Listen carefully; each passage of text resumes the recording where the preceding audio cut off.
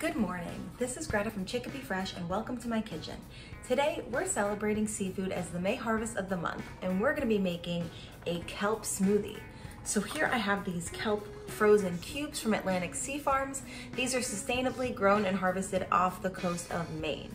Kelp contains tons of important vitamins and minerals, um, not to mention it's vegan, gluten-free, um, and it's a really sustainable crop for our environment. It actually sequesters more carbon from the air than an on-land-based forest.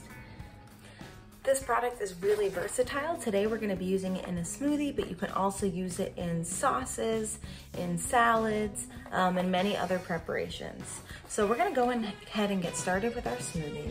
Um, our first ingredient, and when I make a smoothie, I always like to do a liquid base first and then put some of my frozen ingredients in so I can get the best blend possible.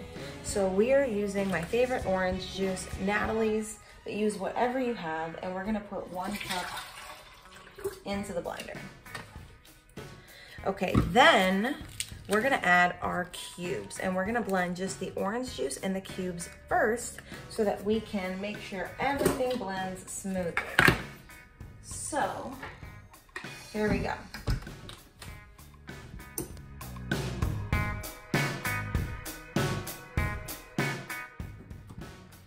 So I blended until the kelp cubes are mixed in with the orange juice. And now we're gonna go ahead and add our other ingredients. So the next ingredient we're gonna add is a frozen banana.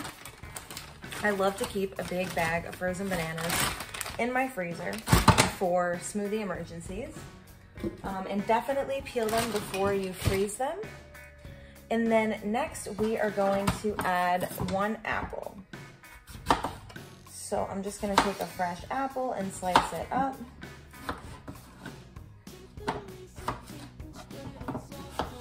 And you don't need to have the apple in really small pieces. I have some pretty large pieces here because I have a powerful blender. So I'm just gonna put those in like such. And then this recipe actually calls for blueberries, but I don't have any, so I'm going to use this acai packet that I have had for a long time from Trader Joe's. Um, you could probably use whatever frozen berry that you have. Um, to be honest, the orange juice flavor is pretty powerful here. Um, so, you know, it's really up to you what other flavors that you want to have. But it's definitely going to taste fruity. You're not really going to notice um, the kelp flavor. It's just going to give you a lot of really great nutritional benefits, like adding any other green to your smoothie. Okay, so we have everything in there. I've got dirty hands, and now we're gonna go ahead and do our final blend.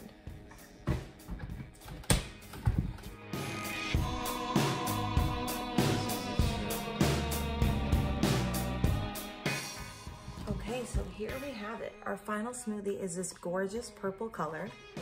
All right, and we're gonna do a little smell and taste test. It smells delicious. I'm getting a little bit of that um, kind of seaweed smell, but I am a vegetarian. I'm a big fan of seaweed. I always order a seaweed salad. Um, but I really love knowing that this kelp is grown locally and sustainably. So here we go, let's try it. That is delish. It's got a really nice tang from the orange juice. It's loaded with healthy fruits, all the colors of the rainbow, and this is gonna make a really great breakfast to take on the go today. Let me know if you make the smoothie at home and we'll see you next month.